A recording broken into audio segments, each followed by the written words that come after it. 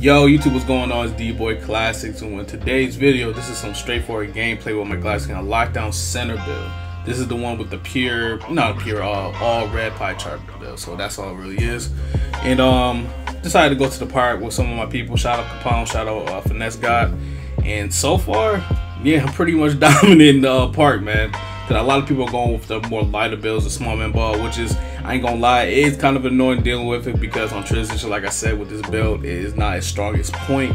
I do get killed on transition because I am very slow in comparison to a lot of these smaller builds. But regardless, when I do get the possession of the ball, I am definitely able to ISO and bully ball. Basically just dunk in the paint when I need to and so forth. But outside of that, I didn't realize how versatile this build can be, how I made them. So definitely if I'm running with a playmaker, I'm able to shoot twos and sometimes threes. I'm not going to lie to y'all. I did shoot a couple threes. Y'all gonna see a lot more when I get the mixtape together and that's coming out very soon, so stay tuned for that. But besides from that, I'm just gonna let the video play out. I'm gonna have, have a smell behind that and hope y'all enjoy it, man. I'll catch you on the next video. Peace out.